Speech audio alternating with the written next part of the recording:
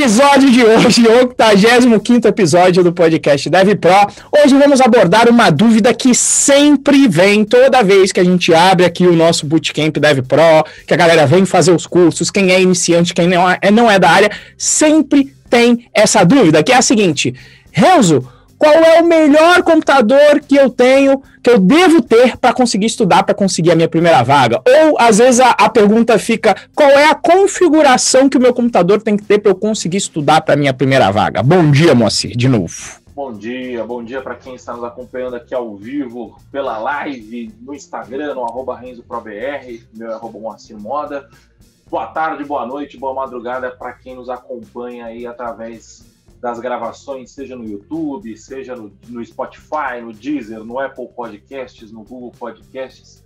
Muito bom dia e seja muito bem-vindo a mais um episódio do Podcast Dev Pro, episódio 86, é isso? 85. Aqui tá 85, 80 que falta só 15, só 15 para 100. Os caras que, que é obstinado, competitivo, pouco competitivo, Renzo, pouco competitivo eu, tá lá, 100, 100, 100, vai bater 100, vai bater 100. E mais importante que isso é o conteúdo de qualidade que a gente tenta trazer aqui. Vem trazendo, tenta e vem conseguindo, né? Trazer um conteúdo bastante qualidade. O pessoal online aí, grande André Almar, meu amigo, Vitor Augusto, pessoal bastante aí. Bom, vamos ao que interessa. Então, o tema de hoje: qual o melhor computador para estudar e conquistar a primeira vaga, né? É, é muito doido isso, porque eu quando eu comecei a programar, não tinha celular ainda direito, né? Smartphone, é, não tinha, sei lá, acho que 98, 99% da atividade que a gente fazia online era num computador, né? E hoje em dia isso mudou um pouco, né? Um pouco não, mudou bastante, né? Eu não sei como estão os números, mas com certeza mais de 50% da atividade das pessoas hoje na internet é via celular, não é via computador, né? E, e é muito doido isso, porque isso impacta um pouco no, no, no, aprendizado, né? Porque tem muita gente hoje em dia que nem computador pessoal tem mais. O cara tem um, um, um tablet, alguma coisa assim. Então a gente resolveu fazer esse episódio para tentar Opa, primeiro. Opa, peraí, peraí. Essa parada, né? Do peraí. É cara tem que ter um computador game. Pera aí, Moacir. Assim. E por outro lado. Moacir, está aí, meu querido. As informações, né, para vocês, né? Então, é... o que aconteceu? Pera aí que tá pausado aqui, tá reconectando aqui a, a live do, do, no Instagram. E não volta, pelo jeito. É, ela pausou aqui. Deixa eu ver o que aconteceu. Não, aqui tá ok. Só dá um reconectando forever e nunca não acontece nada. Tenta tirar do Wi-Fi e colocar do Wi-Fi no seu celular, alguma coisa. É, assim. vai ser o jeito, o famoso desliga e liga. Não, não, mas não fecha a live, só desliga o Wi-Fi e liga. Sim, sim. Calma. Vamos ver, vamos ver.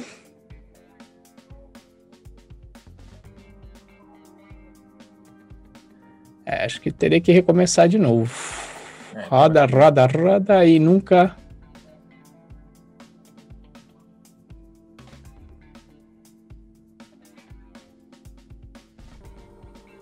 Para que eu ia usar a porra do, do som da, da live, que meu microfone tá zoado. Hoje é dia, hein? Remover Moacir. Não, por que remover Moacir? Não quero remover. Vou, tá, vou remover Moacir para ver se ele faz alguma coisa. Mas continua pa pausado. Quê? Não, live, não, calma. Live de paused. Pra mim fica pausado, reconectando forever e nada. É, pra mim também. Melhor recomeçar. Encerrar. Compartilhar no IGTV, não. Deixa eu ver. Ai. Adicionar tudo. Copiar.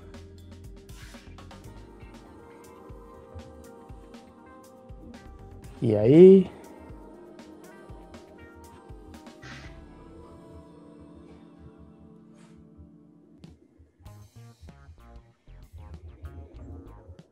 Colar.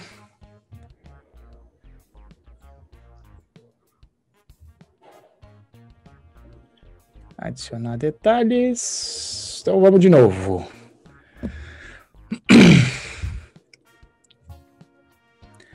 Bom, voltamos. Tivemos que abrir outra live aqui porque pausou e não voltou mais a live aqui no Instagram. Então é o tempo é hoje. Vamos ver se a turma volta e a gente começa aí rapidamente novamente. Vamos lá, seu Moacir. Alô. Alô, tô ouvindo. Tô ouvindo pelo Zoom, tá faltando só você pedir para participar da live aqui no Instagram. Forte aqui. Galera, no... como? Agora já, agora já pedi. Tá, tá, mais, tá mais forte agora? Tá, né? Parece.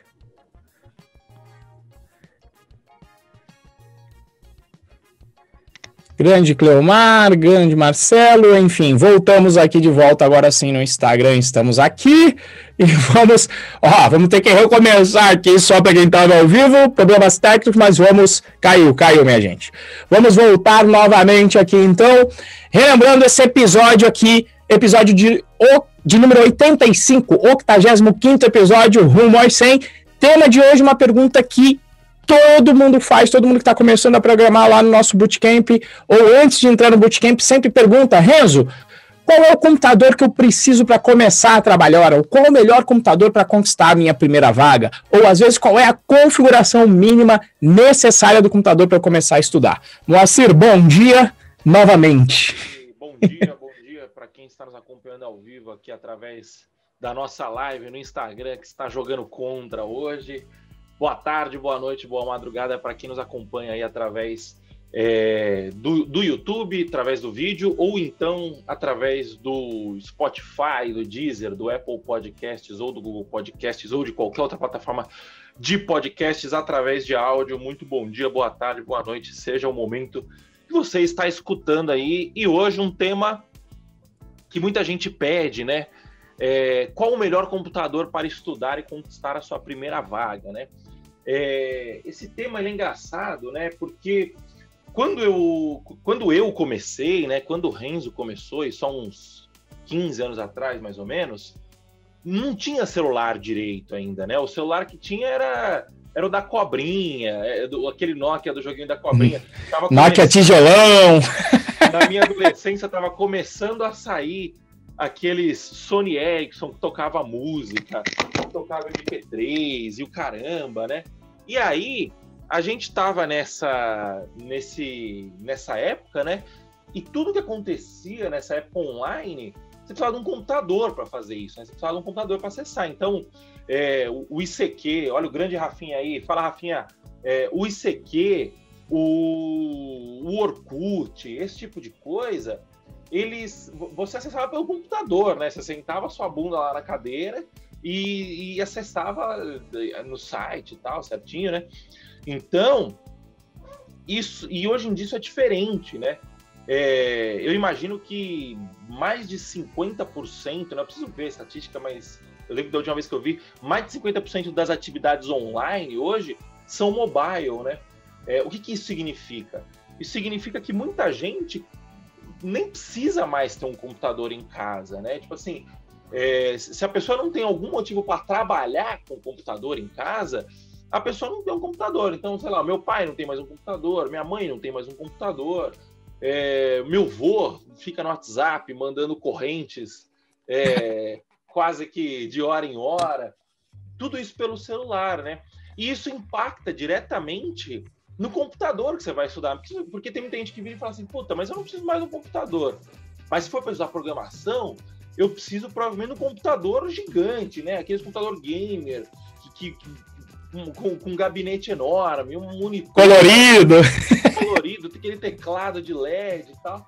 Isso. E aí a, a pergunta é, né? Não, não, é, será que precisa, né? Então, a primeira pergunta que eu faço para você, Renzo, é o seguinte: a qualidade do computador influencia nos estudos? Vamos lá. Para a sua primeira vaga, e principalmente levando sempre em conta que você, o meu viés sempre, né, programador back-end com Python, para esse cenário em que você vai programar com back-end com Python, a qualidade do seu computador, principalmente no início, vai influenciar praticamente zero. Tá? Qualquer computador serve. Absolutamente qualquer computador serve. E por que, que eu estou falando isso? Na semana que vem, nós teremos, na semana que vem, para você que está aqui ao vivo, vendo agora, para você que já. Uh, quando que a gente lança isso? É só na quinta-feira que vem, né? É, na quinta-feira você já vai estar tá no final do evento, vai estar tá no último dia de evento, quando você. Dá para assistir as reprises. Dá para assistir as reprises, vai ter o um evento chamado Jornada Rumo à Primeira Vaga, que é justamente onde eu explico como é que o mercado funciona para você que está querendo conquistar a sua primeira vaga e vou entregar ali um, um, um plano claro, com passo a passo direitinho para você estudar, para você conseguir chegar na sua primeira vaga. E uma das questões. 2 de agosto. Dia 2 de agosto, isso, na segunda-feira que vem. É isso aí. E aí o que acontece? Como essa dúvida ela é. Ela sempre aparece. Nós estamos fazendo agora nessa semana, uma semana em que a gente traz as pessoas que já trilharam esse caminho. E ontem, no dia de ontem, hoje é dia, deixa eu ver aqui, dia 27. É. Ontem, no dia 26, eu estou fazendo um esquenta do dia 26 até o dia 1 de agosto, um esquenta que eu chamo de Fala Dev Pro, para trazer as pessoas que já de alguma forma, conhe ou conhecem o mercado de computação ou que trilharam esse caminho. E eu sempre fico falando aqui, toda vez que alguém me pergunta dentro dos stories do Instagram qual é o computador, eu falo, gente, qualquer computador serve. Porque eu, eu sempre falava assim, eu tenho um aluno que programava num Raspberry Pi, que é uma plaquinha, literalmente uma plaquinha, no tamanho da, da mão aqui, só uma plaquinha com saída USB para você colocar teclado, mouse, tá? E uma saída HDMI para você colocar um monitor. E aí eu trouxe o Hernani, que é justamente esse aluno a quem eu sempre me refiro e falo, ele começou a trabalhar no Raspberry Pi, que tem a gente colocou no título, até para não, não ficar complicado, a gente colocou. Vejo com, que o aluno começou a programar com um computador com menos de 1 GB de RAM. Na realidade, não é menos de 1 GB, ele tem meio GB de RAM. São 512 de memória potencialmente o celular que você tem aí agora, você que está ouvindo aqui essa live agora, potencialmente o seu celular tem mais memória que o computador que o Hernani começou a programar. E rodando perfeitamente hoje em dia. E esse Raspberry Pi, ele foi feito como um computador de baixa renda. O Hernani falou que pesquisou um agora que tem 4 GB de memória, custa 300 reais. Que é baixo. Eu falei o que? É baixo o quê? Baixa renda. É, mas não deixa de ser um computador para quem tem baixa renda ter acesso. Então, um computador de baixo custo, tá? 300 reais, um computadorzinho de 4 GB desse tamanico aqui. Tá? Ele mostrou, inclusive, o case ontem, para quem estava lá, ele mostrou o case para fora, abriu e mostrou a plaquinha. E hum, teve uma jornada rumo à primeira vaga que a gente fez, onde eu, lá eu estava demonstrando a parte técnica, e teve gente colocando o servidor local do Django para rodar com código Python dentro do celular. Porque imagina, se roda um computador de meio giga, por que, que não vai rodar com o celular? Só dá um pouquinho mais de trabalho, que você vai ter que ter acesso ao programa, ao Linux, dá um pouquinho mais de trabalho, mas até no celular tem gente que está conseguindo programar, num celular não tablet. Olha aí, ó. É, Moacir pegou. Isso é um Raspberry Pi. Isso é um Raspberry Pi. Se você olhar, ele tem, para quem tá, para quem tá ouvindo, né? Se você for lá no YouTube, a gente tem o vídeo do. a imagem em vídeo. Eu estou mostrando aqui pro pessoal da live. Ó, HDMI. Uma entrada HDMI. Uma entrada de som. Aqui é uma entrada de USB, Mi... micro USB, para poder a, a, alimentar. Ou é, seja, o carregador do celular alimenta ele. Entrada de som. Aí aqui do outro lado a gente tem quatro USBs e. Teclado um... mouse é, RJ? teclado e mouse, e aqui a entrada RJ45 para poder plugar a internet. E ele tem uma plaquinha de Wi-Fi aqui também, que eu não sei apontar qual é, mas eu sei que tem também uma plaquinha de Wi-Fi. Eu demorei para mostrar porque eu estava tirando ele do case. Eu tinha, ele tem um casezinho aqui, e esse case aqui é opcional, tá? É, eu, é. eu, eu, comprei esse case que eu comprei lá no, no na China, no, no AliExpress. É, ele vem nessa. o meu é o modelo antigo ainda. É o P3 Model B. É, já tá no 4. E ele veio, ó, ele veio numa caixinha bonitinha aqui e tal. É, no meu caso, veio até com alguns com alguns dissipadores. Aqui é um dissipador, né, Renzo? Acredito que sim, dissipadora. Dissipador de calor. É você, que é para você poder. Ele tem uns pontos aqui atrás, para quem gosta de, de mexer com, com elétrica também. É, você pode montar suas placas, né? Montar alguma coisa aqui. Enfim, é, eu comprei na época para poder fazer um servidor. Na, não, na verdade, mentira. Faz o seguinte, com, termina aí, você tava, senão eu vou, vou acabar atropelando, depois eu conto a minha história do Raspberry Pi. Falando, Mas é, eu, eu, acho que, eu acho que a única, é, a, única, a única história é o seguinte, né? E, inclusive fizeram esse, esse computadorzinho, eu falei ontem no papo com o Hernani, duas razões. Primeiro, para ter um computador de baixo custo. E o que, que acontecia? Antigamente, ainda na época, na minha época do Boa, e era o caso do meu amigo Reginaldo, o grande hacker do Facebook, ele fazia o quê? Quando ele ia brincar lá de, de de programação, ninguém tinha computador na época de 90, assim, você não ia comprar um computador para hackear, para mexer nele, pelo contrário, estava lá no gabinete falando, não, não vou nem abrir, vai que danifica.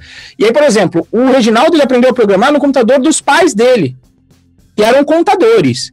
Então ele falou que uma vez foi instalar o Linux lá, quase cagou na calça, porque na hora que foi instalar o Linux, achou que tinha sobrescrito os arquivos do pai, não estava mais botando no Windows, e podia ter perdido todos os arquivos da contabilidade, ou seja, do trabalho dos pais. Então, a motivação da construção do Raspberry Pi foi um computador de baixo custo e é feito na plaquinha para desmistificar para as pessoas a computação e para que crianças realmente pudessem programar. Tanto é que o, o, sistema operacional padrão, que antigamente não vinha nele, mas agora já vem, vem com o Scratch, que é uma plataforma de programação para crianças, de mover bloquinho, etc. E o Raspberry Pi, o Pi que vem nele, vem justamente do Python, que é um computador que foi feito com Python embutido para você já programar nele. Então é assim. Eu não sabia eu não sabia disso. É, sim, o, o, Pi vem, vem, vem do Python mesmo, tá? Eu não sei porque colocaram PI em vez de PY, mas enfim, o Pi realmente é por causa do Python para você já poder programar lá. Ou seja, se qualquer computador serve, se você tiver aí aquele tio, aquela avó, aquela tia que tem aquele computador velho, que seja aquele brancão que tinha antigamente, aqueles 386, 486, se você tem qualquer computador que esteja funcional, você já consegue começar a trabalhar. A única coisa que eu considero é que é mais confortável você programar com um teclado do que programar no celular digitando, pelo menos naquele tecladinho. Pelo menos eu não tenho essa habilidade. Aqui eu digito com, com todos os dedos. No teclado, para mim, é mais confortável de, de escrever o texto em um teclado. Mas assim, a moçada de hoje em dia às vezes está até acostumada com o teclado celular, como eu falei, teve gente rodando inclusive no celular. Mas se você tiver aquele computador velhinho aí de alguém, de algum amigo, tio, tia, parente, avó, pega aquele computador velhinho, bota ele para rodar que dá para você começar a estudar programação. Então o melhor computador é esse, é o que você tem. Né? É, isso é, é importante pontuar, né? É que isso não vale para todas as linguagens, né? É, então, por exemplo, se você Sim. quiser começar a programar, se você quiser aprender mobile. É, é aí lascou. Você não vai, porque você vai precisar rodar o simulador lá do Android. É, Android for, Studio já pesa, já pesa rodo. Pesado pra caramba. Se for Apple, então você vai ter que comprar um, um, um MacBook que hoje o novo tá na casa de uns 20 mil reais. É, então, isso não vale para todas as linguagens a gente está falando aqui especificamente, vale para vale algumas, né, além de Python, a gente está falando aqui especificamente para Python e back-end, né? É, a minha história com o Raspberry Pi, você tem uma noção como esse computador é valioso, né? Apesar de ser barato, eu lembro que em 2016, sei lá, 2015, acho que era 16, eu comprei no AliExpress um, essa caixinha, é... E aí eu paguei, sei lá, tipo, 100 reais, uma coisa assim. 150 reais. E aí eu, na época o dólar tava 2, 3, uma coisa assim. Aí eu peguei e falei assim, deixa eu tentar vender isso aqui. Eu coloquei no Mercado Livre. Vendi, sei lá, por 300 reais. Aí eu falei, puta que pariu, eu consegui vender. E, e aí eu peguei e importei, tipo, sei lá, uns 15, tá ligado? e paguei, sei lá, mil, dois mil reais. E aí, só que eles, porra, no AliExpress demora para chegar tipo uns 40 dias na época, 50 dias, uma coisa assim. Aí eu. Aí quando eles chegaram, um monte de gente já tinha tido a mesma ideia que eu, né? Já, aí, tava, já tinha inundado o mercado. Aí deu uma. Aí ficou um estoque de Raspberry Pi lá em casa. Aí eu fui vendendo aos poucos, tal, né? E aí isso daí sobrou. Aí na época eu sobrou não, né? Na verdade eu peguei para mim que na época eu queria montar um servidor de, de... Eu queria montar multimídia? um servidor de multimídia. Eu tentei montar, eu montei um NAS uma época, é, um NAS, né? É, algo que tinha a função similar de um NAS, que era o quê? Que era fazer backup e tal. Uh, aí depois eu acabei, acabei virando esse servidor um servidor multimídia, mas o multimídia acabou ficando meio pesado para rodar tal. Ah, rodou muito tempo. Eu comprei uma TV LG, uma Smart, há um tempo atrás, e aí eu usava um carinha chamado Plex. E esse Plex, ele, ele ajudava a... Ele rodava tipo como se fosse um servidor do Netflix, alguma coisa assim, né? Aí eu pegava os vídeos no, nos lugares que não podem ser pegos, e aí eu colocava lá. Só que aí começou, tipo, aí o streaming avançou muito, sabe? Hoje em dia você tem, sei lá, Netflix, Amazon Prime, HBO Max, Telecine Plus, Globoplay. Eu tenho esses cinco e tenho mais algum que eu não lembro agora que somando tudo não dá o preço de uma net. Então, assim, hoje em dia não, não vale mais a pena você fazer esse tipo de coisa, né? Mas, enfim, olha, olha o poder que um computadorzinho de 300 reais na época, né? Hoje em dia deve estar um pouquinho mais caro, mas ainda assim vale muito, né? E, e, você viu que o meu veio com uma case bonitinha tal. Se você comprar só a plaquinha, ele sai mais barato ainda, né? É, e esse é um exemplo. E, e a gente está falando aqui de um Raspberry, você pode pegar qualquer outro computador. Você pode eu lembro que teve, teve uma época que eu trabalhava com evento. É, e aí eu. Se eu não ficar rico, não vai ser por falta de tentativa, né? Porque eu já fiz de tudo na minha vida. E, e aí eu trabalhava com evento na época, e eu, a gente comprou. Eu montei um serviço que chamava Instaplay. Eu já te contei essa história, Henrique? É, eu, eu, montei um serviço que chamava Instaplay, resumidamente o, a gente era em casamento, formatura, esse tipo de coisa, o cara postava uma foto no Instagram com uma hashtag e a gente imprimia aquela foto e mandava pro. e dava de brinde pro cara, né? E era bem legal tal. E a gente Eu lembro que você falou que até teu pai que operava, era operador ali e tal, não era? Operava, tal. E aí o que, que eu fiz? É, eu, eu precisava montar uma máquina para poder operar mais simples aquilo, né? Porque tinha que ficar levando notebook, era o meu notebook, eu o notebook de outra pessoa, tá? E aí tinha que achar uma mesa para botar para operar, dar um trabalho. Aí eu fui na Santa Figênia e comprei uma máquina usada, é, a Santa Figênia aqui em São Paulo, né?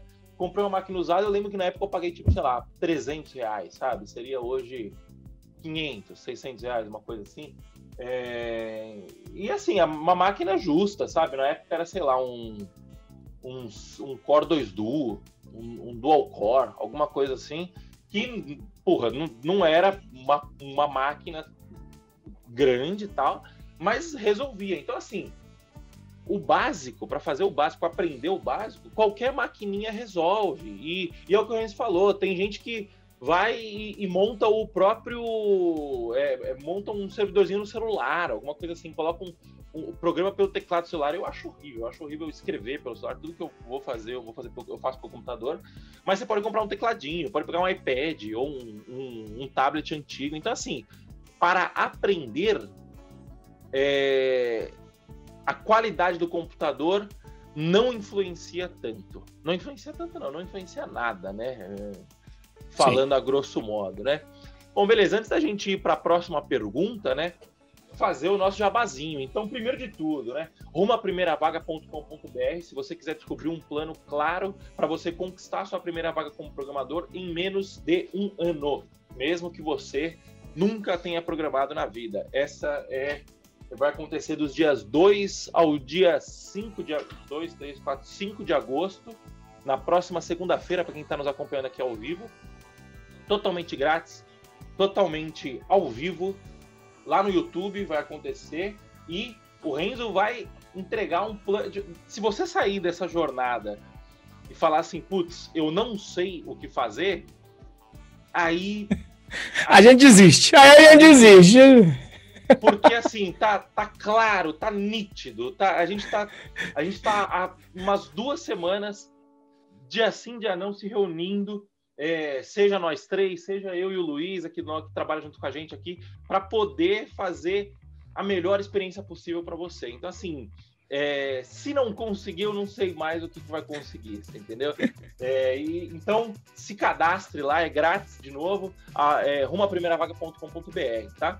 Uh, se você estiver assistindo essa live ao vivo, clica no coraçãozinho, toca aqui no coraçãozinho aqui do lado, bastante vezes, várias vezes, várias vezes, por quê? Porque o Instagram vai olhar e falar assim, opa, eles estão gostando da live, então deixa eu indicar para mais pessoas, né? E também, não deixa só no Instagram fazer isso, toca você no aviãozinho aqui e manda para três, cinco amigos ou amigas que querem se tornar um programador, mas estão perdidos, estão confusos, que a nossa missão aqui é trazer clareza para você, trazer clareza para você conquistar a sua primeira vaga como programador e entrar nesse mercado que é tão abundante, né?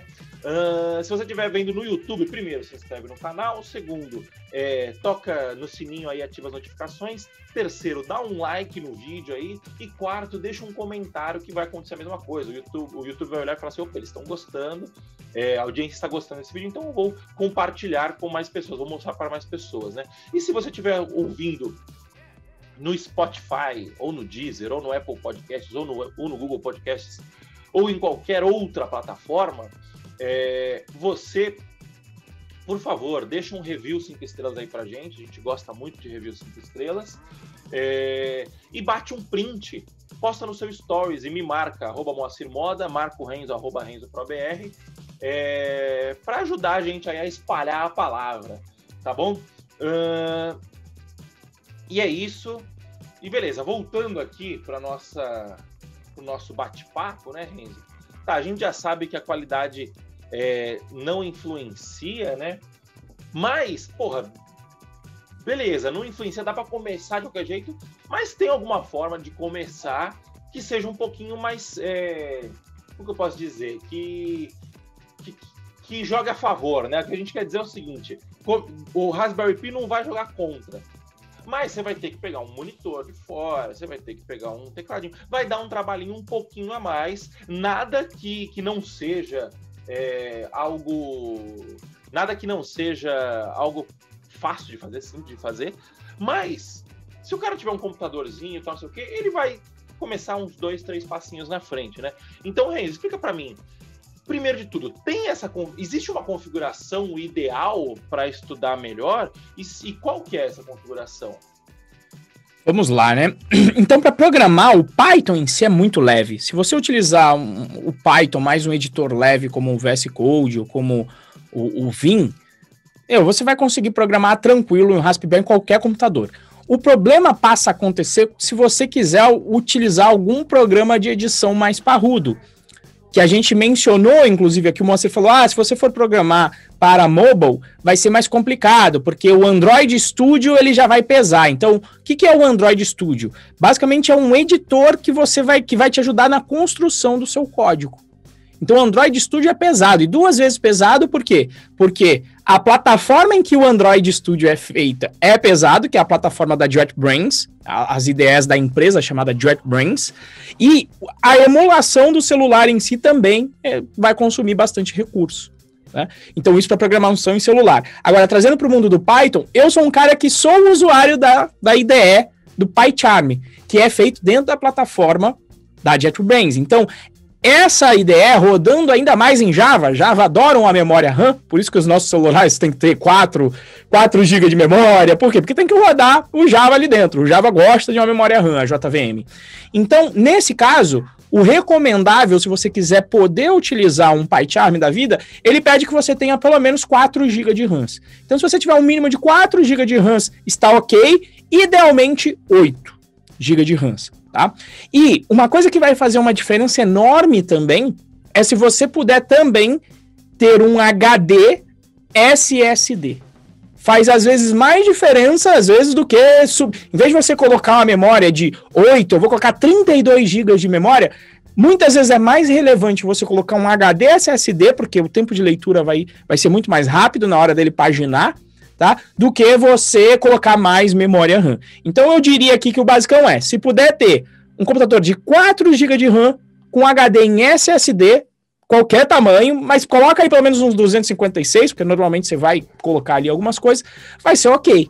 Tá? E, como sempre, é, é, não é para a programação em si, mas para os programas que vão te ajudar com a programação. Tá certo? Então, é, é, tem, que, tem que.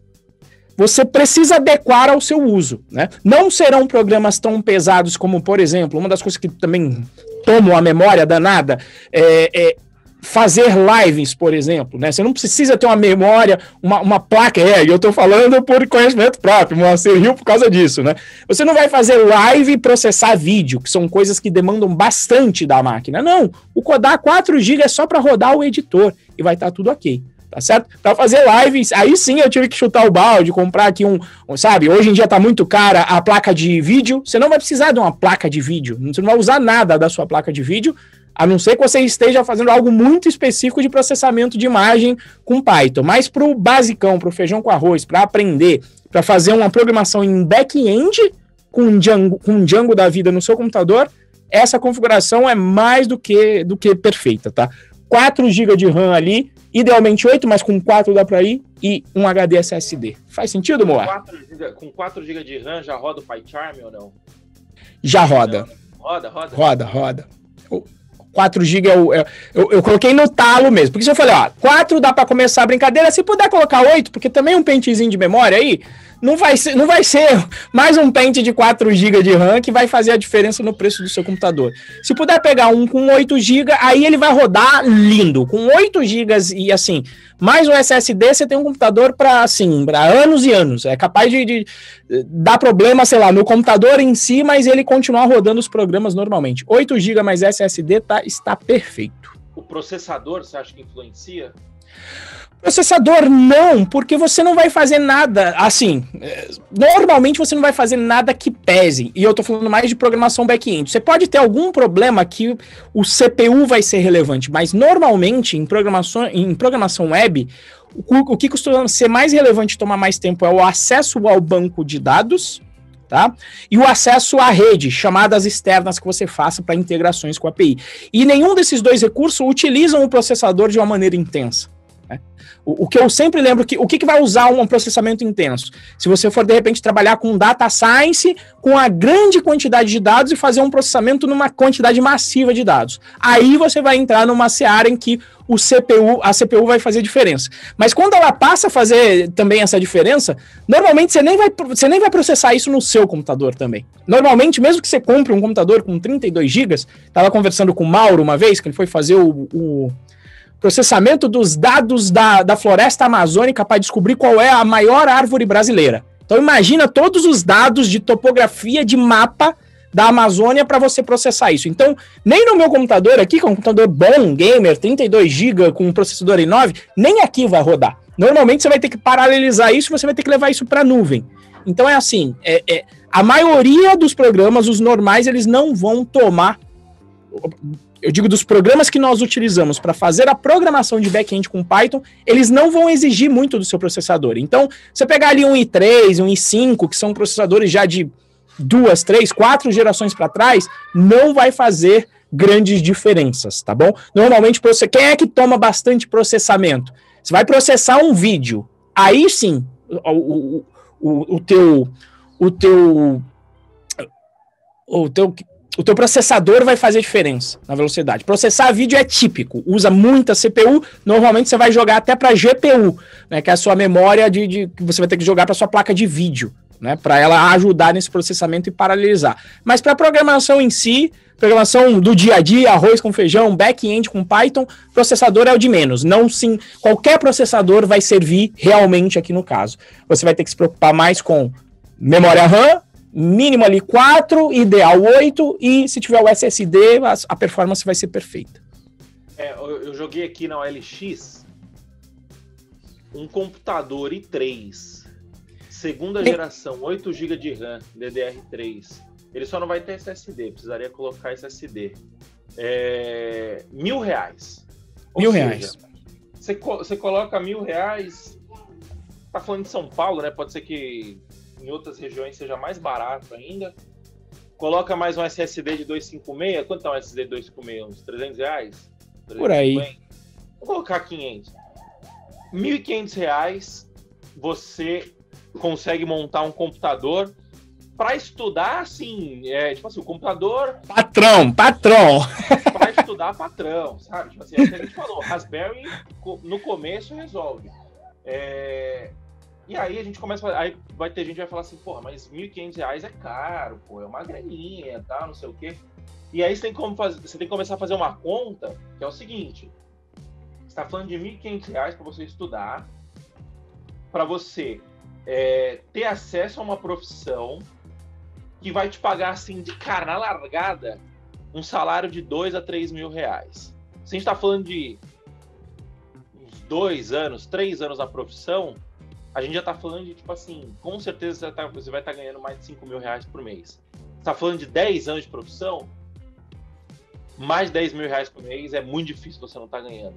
Então, assim, olha o quão baixa é a barreira quando você coloca na perspectiva real. Eu não estou falando para você comprar um você comprar um computadorzinho e ficar lá brincando de alguma coisa, ou um lazer, ou, ou, pra, ou você vai comprar um maquinário para te fazer, para te ajudar a, a fazer um, uma renda extra de 100 reais por mês. Não, a gente está falando de uma profissão. Obviamente, não, não vão ser só esses os investimentos, né? Mas a gente está falando do primeiro passo, para você sair do zero para o um, que é o passo mais difícil de todos, que é para você é, para você co conquistar sua primeira vaga, né? Você está falando de um investimento em material de R$ 1.500, é muito pouco. É muito, muito, muito, muito pouco. Você entendeu? Então, é, assim, eu acho que a, a lição que a gente quer tentar deixar aqui é que a gente está vivendo numa era numa que, que, que tem oportunidade. E, e o, a, a live que a gente fez, que você fez com o Hernani ontem, mostrou muito isso, né? O Hernani, depois vai lá no IGTV. Ele estava aqui, inclusive, estava aqui online, ele tinha entrado aqui. Vai lá no IGTV do Renz e procura o, a, a, live que ele gravou com o Hernani. É, ele. O, o, cara trabalhava num delivery de bebida até 4 horas da manhã, entregando na moto, em cima da moto. Ele, ele tirava o pedido, ele saía para entregar é, e hoje ele tá, e, e, e ele precisava da moto para fazer isso, precisava de, de sistema tal, para fazer um trabalho que é digno, é justo, mas que nem se compara em questão de retorno quando está falando de programação, entendeu? É, então é, essa é a oportunidade que a gente tem nas mãos, né? Tipo assim, e o Hernani nasceu na favela de Recife, é, é favela, né? Não sei Falou, favela, favela de Recife. Né? periferia de favela. De, de, de periferia. É, não lembro se ele usou o termo favela, né? Mas. Usou, usou. Era na periferia. Quase, quase meteu um fa a favela venceu aí. Então, e assim, é, é, não foi fácil, não foi. Sim. Não, foi ele, sofrido. Ele, claro que foi sofrido, mas ele conseguiu. E ele tá nessa jornada há o quê? Três anos? Três, quatro no máximo? Sim, quando ele colocou ontem, quando falaram para ele, não acreditou, mas foi em torno de 2018, três anos, tá dando dois anos e meio. Você tá falando de, ai, dois anos, três anos é muita coisa. Cara, você tá falando do, de, de, de, montar uma. De, de, de, palavras do Hernani, ele falou assim: hoje eu tenho uma profissão, eu tenho uma carreira. Você tá falando de três anos para você montar uma carreira que a partir do seu. Que, que a dele já é sólida hoje em dia. Você entendeu? Uma carreira iniciante ainda mais sólida já. Entendeu? Não vai ficar mais desempregado. Exato, ele já deu os primeiros passos. Então, assim, é um investimento muito baixo, tanto de tempo quanto de recurso mesmo. Entendeu? Então, acho que essa é a mensagem. Começa com o que tem, começa no celular, vai brincando, vai aprendendo. Porra, viu que é o que você quer? Investe. Parcela, sei lá, pega o cartão de crédito, pega o limite do cartão. É, eu, eu tô vendo aqui, ó. Linha ThinkPad da Lenovo, que também é uma ótima pedir, para não ficar também assim abstrato, né? Você pegar tudo completo. A turma lá costuma comprar bastante a linha ThinkPad da, da Lenovo, tá? T-H-I-N-K-P-A-D. Muitas empresas ela, ela, ela dura bastante, é uma máquina que dura bastante. E aqui eu tô vendo, aqui no Mercado Livre, ó, tem máquina que chega a R$ 1.200 em 12 parcelas é, de 100 sem juros. Tá? Então, muitos alunos meus já compraram essas máquinas de segunda mão Por quê? Porque elas duram bastante. Então, às vezes, você pega um parque de máquinas de uma empresa que está se desfazendo, que vai se falar, ó, vou vender porque eu vou renovar meu parque de máquinas. Então, eu estou vendo aqui agora no Mercado Livre, ó, ThinkPad de 12 vezes de 100. E, e naquela configuração que eu falei, ó, para pegar um top aqui, tá, esse aqui já está um pouquinho mais caro, 2,350. Mas é porque, ó, 8 GB de RAM, 500 GB de HD, tá com mais HD do que, do que seria necessário, não precisaria de tudo isso. Ó, tem um outro aqui, um T430, né, desse modelo aqui da ThinkPad, 12 vezes de 132,50. Então é como o Moacir falou, é um investimento que você vai fazer numa carreira para sua vida, que no universo de vou fazer aí, me comprometo aqui a conversar com o Hernando daqui uns 3, 4 anos, mas eu tenho certeza, é 3, 4 anos para estar tá fazendo mais do, seus, mais do que 5 mil reais. Entendeu? Então é uma carreira que não vai ter desemprego, não vai ter crise. Né? Essa é a. Essa é a ideia. Então tá bom. É...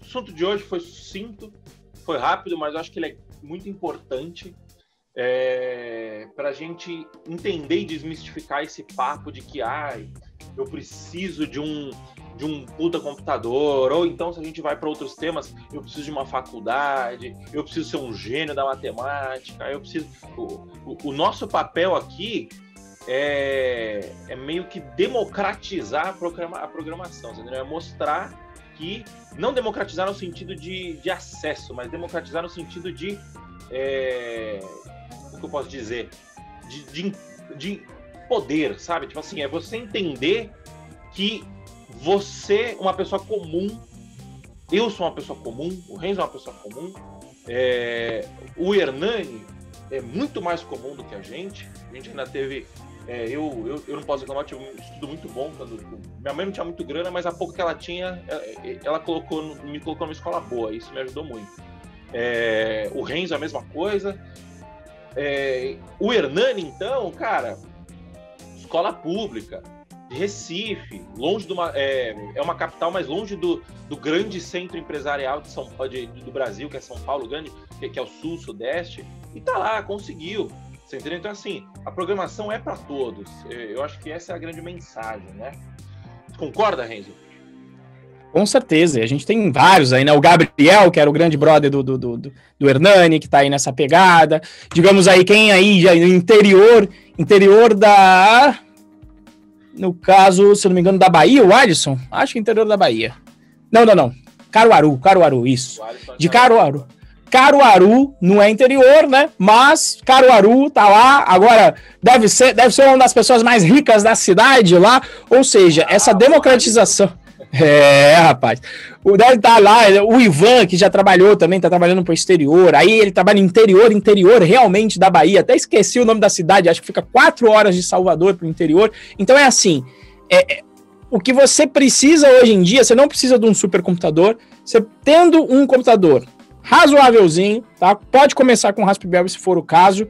Tendo acesso à internet, você passa a ser um, um, cidadão do mundo, né? Essa é a grande sacada. Com a internet quebraram as barreiras do que o Moacir falou. Você não precisa mais agora estar em São Paulo, né? O Moacir por acaso está, mas ele sabe que eu sempre fugi, eu moro no interior de São Paulo. Então você agora tem a opção de morar onde você quiser e ter acesso de poder gerar valor e é assim que você vai conseguir capturar parte desse valor para você, poder gerar valor de qualquer lugar do mundo, né? Então essa é eu acho que é a grande sacada, e eu acho que o Moacir quis deixar claro é, é essa democratização de dizer que você também pode, você que está aí agora. Essa é a nossa missão aqui. Dizer, olha, você já tem tudo que é necessário. Você sabe aí as quatro operações matemáticas? Sabe? Soma, subtração, divisão, multiplicação, sabe as quatro operações matemáticas, sabe ler, sabe digitar um pouquinho no computador, então você já tem o que é necessário. Só falta aí, coloca mais uma maquininha, a gente já falou, coloca um Raspberry. Se puder ter acesso a uma máquina